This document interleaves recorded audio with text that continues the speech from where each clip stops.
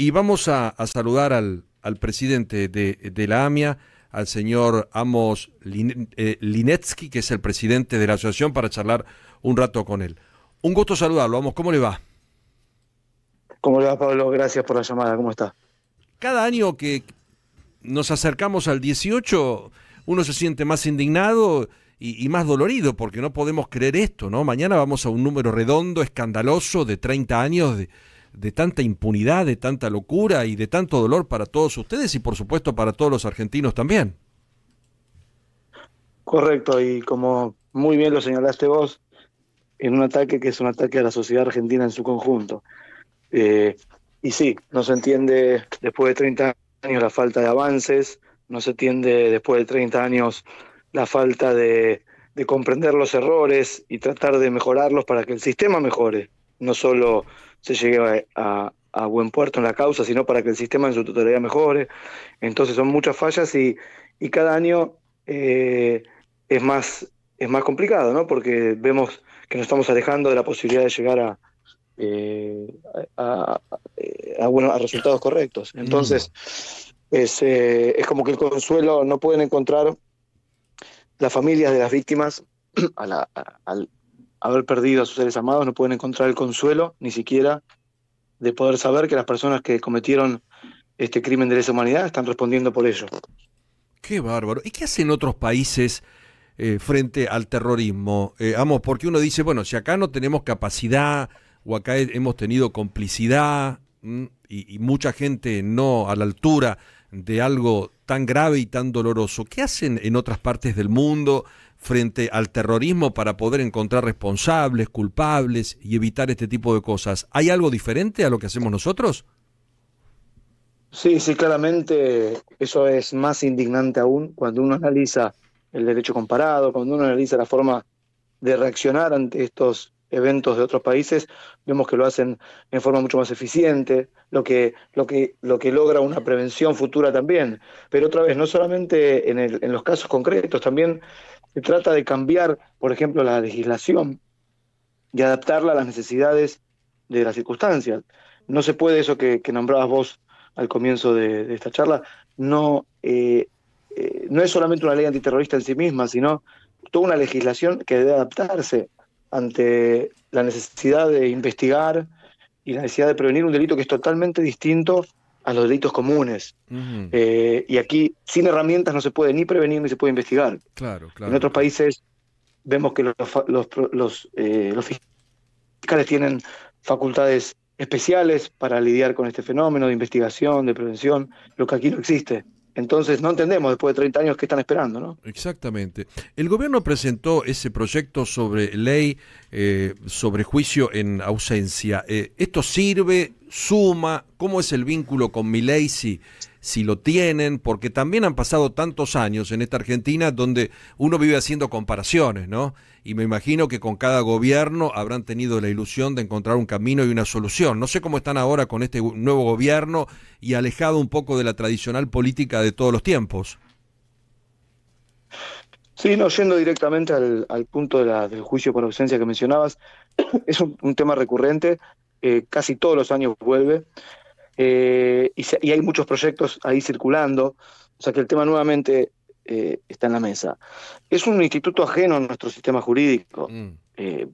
entonces extraño a nuestro sistema jurídico, entonces estamos tratando de ser cautos, estamos tratando de, analizar los proyectos a fondo, entenderlos, es seguro que sí, va a haber un debate serio, un debate maduro, institucional, y, los senadores, los diputados llegarán a, la a la conclusión de que realmente puede servir para adelantar justicia, puede ser una herramienta útil, la AMIA no se va a oponer. Por el momento estamos cautos y atentos eh, a analizarlo. Además hay un tema también eh, jurídico en sí mismo, técnico por así decirlo. Más allá del, juicio en ausencia que, que se introduzca en nuestro sistema, hay otra pregunta que es una pregunta totalmente técnica jurídica, si es jurídica y es si se puede o no aplicar retroactivamente a la causa AMIA. Claro, con Y es una, pregunta súper súper compleja. En el mm. derecho hay un tema de irretroactividad de la ley, por ahí aquí no porque es ley procesal. Bueno, es una pregunta muy compleja que, los abogados, los juristas la analizarán oportunamente. ¿Y con, con mi ley cómo, cómo están? Porque me imagino que ante cada gobierno deben renovar expectativas, ¿o no?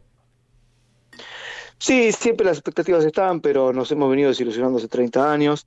Eh, nosotros, la AMIA tiene una característica que trata siempre de ser neutra, por la misión propia de la AMIA, el trabajo social que hace, siempre nos cuidamos muchísimo de dejar de, adherir al principio democrático de que cada uno de nuestros socios y de que la comunidad misma eh, decida sin ninguna influencia de los dirigentes eh, cuáles son los políticos y cuáles son las líneas a seguir. Entonces estamos, somos muy, muy cautelosos con eso, eh, pero, pero lo que no quita que cuando las cosas se hacen mal, criticamos o bien eh, felicitamos. En este caso, realmente, y se habíamos transmitido al gobierno, el hecho de nombrar a Hamas como organización terrorista demuestra una valentía y un accionar correcto. Mm.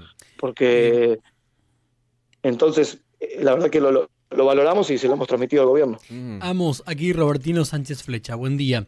En relación, con, en relación con el acto de mañana, ¿qué esperar? ¿Qué nos puede anticipar? Tengo entendido que está previsto presencia de em, el presidente Luis Lacalle Pou, si me equivoco, corríjame, si va a ir algún otro mandatario, personalidad internacional, más allá obviamente del presidente Milei, si va a hablar alguien más, más allá de usted. Sí, se espera una convocatoria bastante masiva, lo que a nosotros nos conforta, nos reconforta porque implica que eh, muestra que la sociedad argentina entiende todavía la importancia de no bajar los brazos y seguir reclamando justicia, porque, insisto, es no solo por la causa AMIA, sino porque estamos convencidos de que sin justicia la democracia no está completa. Entonces, no es un tema menor, no es un tema menor, no es una causa que salió mal. Estamos hablando de que la democracia no puede funcionar sin justicia y una causa emblemática como la causa AMIA muestra que no hay justicia. Entonces, esperamos presencia masiva, más que incluso los años pasados, por ser, un, por ser los 30 años. Eh, va a haber un discurso muy fuerte de reclamo, como todos los años, que, que, lo daré yo. Eh, y sí, y esperamos también mucha presencia de, la clase política, de diplomáticos, de dirigentes, de diputados. Mm. El presidente ha confirmado su presencia, también, lo eh, también el jefe de gobierno de la Ciudad de Buenos Aires, muchos ministros, mm. el presidente de Paraguay. Eh, el presidente de Uruguay aparentemente también es el Día Nacional de Uruguay, así que no sé si, si, si podrá estar o, se tendrá que ir, pero eh, la verdad que se espera mucha presencia. El Ineski Javier Díaz, eh, yo le voy a hacer una pregunta que es recurrente y que siempre se hace, y ahora con 30 años más todavía. ¿Tienen temor de que pueda haber un nuevo atentado?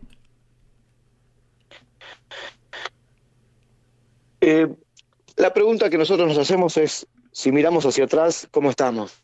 Es decir, si miramos hacia el 92, 94, cuando la Argentina sufrió los peores atentados eh, de la historia contra la Embajada de Israel y luego contra la AMIA, eh, nosotros nos preguntamos, ¿estamos mejor hoy? La, respuesta es claramente no. Claro. No, no hemos ah, actualizado, no hemos mejorado en, la, en los sistemas de prevención de investigación. No hemos mejorado, nuestras fronteras siguen siendo permeables, la situación en la triple frontera sigue siendo igual o peor en algunos casos, la legislación no se ha adaptado, eh, la causa AMIA no tiene un juez designado, un juez fijo, es un papelón, una de las causas más complejas.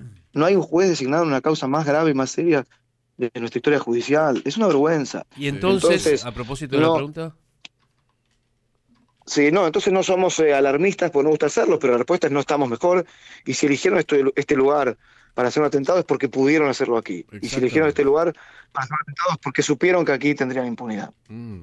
La última, eh, mañana va a estar el presidente de la Nación, eh, el gobierno habla de un gran operativo eh, ante la posibilidad o una supuesta amenaza que no tenemos claro, tampoco es un tema para ventilarlo tan, tan ligeramente.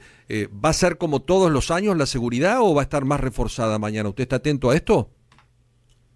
Sí, estamos atentos. La verdad que la seguridad es impecable. hay, hay, un trabajo conjunto de las distintas fuerzas.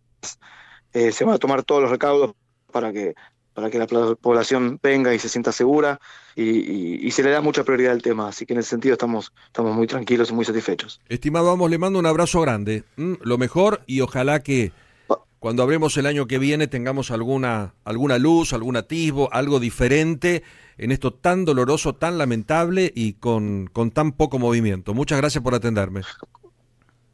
Correcto, un abrazo para ustedes y la verdad es que si en estos 30 años la voz de reclamo se ha mantenido, también es parte al trabajo importantísimo que ustedes los periodistas hacen, así que también agradecerles. Un abrazo muy grande, ¿eh? Saludos. Hasta prontito. El señor Amos Lisnetsky, que es el presidente de la AMIA, 30 años en esta vergonzosa Argentina que no resuelve temas graves, determinantes y claves.